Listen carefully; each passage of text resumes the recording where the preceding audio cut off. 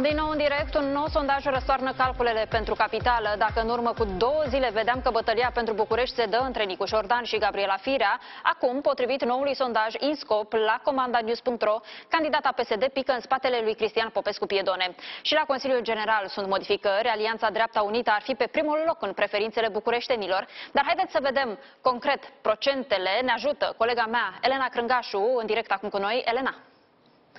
Bun găsit! Aici vedem sondajul nou, cel al uh, INSCOP, unde Nicușor Dan crește cu 7% față de sondajul Avangard pe care l-am văzut în urmă cu două zile. Este tot pe primul loc Nicușor Dan și aici, dar acum are 38%, vedem, chiar peste 38%, față de 31% cât avea în acest sondaj comandat de PSD. Iată cum se schimbă lucrurile pentru poziția a doua, pentru că dacă în sondajul comandat de PSD, Gabriela Firea era, era pe locul 2 cu 24 de procente. În noul sondaj ea are mai puțin 21% și pe locul 2 urcă Cristian Popescu Piedone un scor de 27% în acest nou sondaj în scop față de sondajul din urmă cu două zile când Popescu Piedone avea 20 de procente. Sebastian Burduja în urmă cu două zile sondajul Avangard 15%, acum în noul sondaj 10%.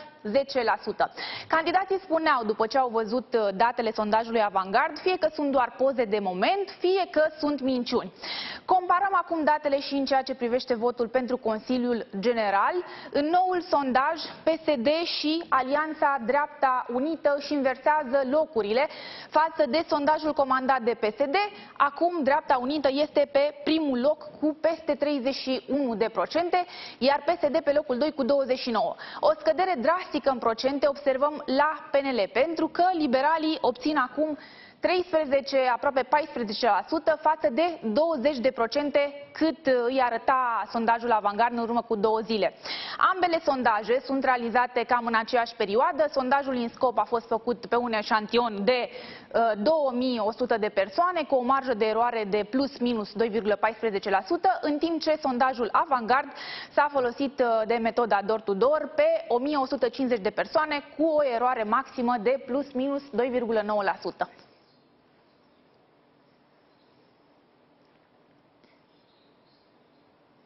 Discutăm în continuare despre acest subiect alături de colegul meu, Florin Negruțiu, este în platoul știrilor. Bine ai venit, Florin! Bună ziua!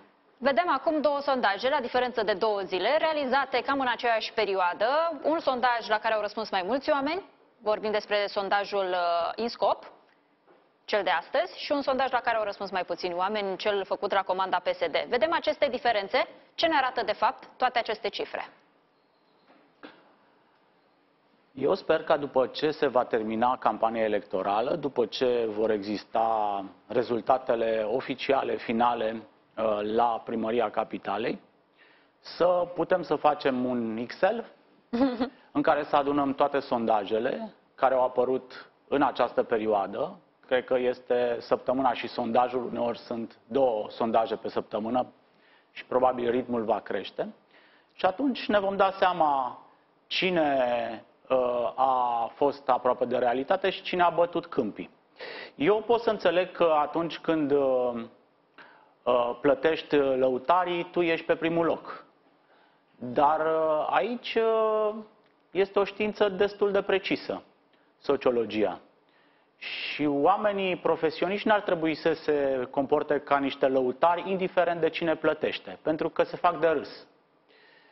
De asta cred că este un gest igienic pe care noi, presa, putem să-l facem după campania electorală, să adunăm toate sondajele, să comparăm rezultatele și să vedem uh, care, au fost, uh, care sondaje au fost comandate și lansate în scop de a manipula și care au fost uh, sondaje cinstite. Eu nu pot să spun în momentul ăsta Uite, care, transez, este, uh, transez o care este real. Uh, doar un lucru observ, că este imposibil ca diferențele să fie de 7-8% în două sondaje făcute practic în același timp, cu un eșantion reprezentativ, chiar dacă metoda a diferit, este practic imposibil ca acest, aceste diferențe să iasă din marja de eroare, că fiecare are o marjă de eroare sub 3%. Ori diferențele sunt de 7-8% și la candidați și la unele partide. Hai că ți lansez o provocare chiar de astăzi. Pe 10 iunie ne vedem la știri, punem cap la cap toate aceste sondaje, câte vom putea, că dacă e să le luăm pe toate, Nu, clar... hai să le luăm pe toate. Le luăm pe toate? Hai să le Bun, luăm le toate luăm pe toate sondajele pe din 10 perioada iunie asta și vedem vedem exact. care are abaterea cea mai mare și care are abaterea cea mai mică. Bun, clar, în, uh, tu spuneai că cine plătește iese cumva învingător. Bine, Gabriela Firea la, în sondajul făcut la comanda PSD n-a ieșit pe primul loc, tot Nicuș Șordan este pe primul loc în orice sondaj uh, ne-am uitat, cel puțin până în acest moment. Da, da, poate că nu l-a plătit doamna Firea, poate l-a plătit domnul Ciolacu.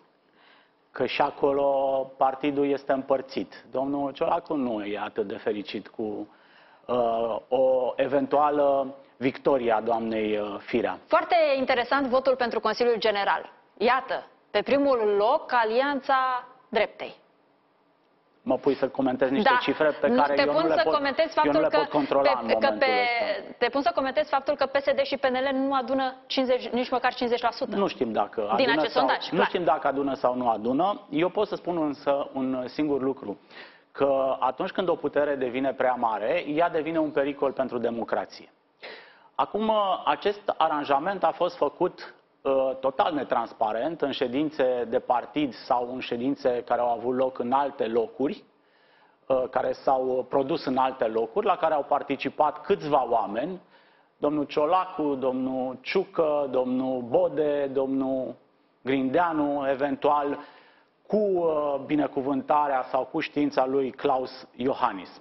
Aceste aranjamente, practic, au pornit de la ideea reînființării unui partid unic, care să domine local toată țara. Adică noi să luăm totul și să nu mai lăsăm uh, loc pentru opoziție, fie ea democratică sau nedemocratică. E bine, toate aceste aranjamente, combinageli, n-au ținut cont de un singur lucru, că ștampila este la cetățeni.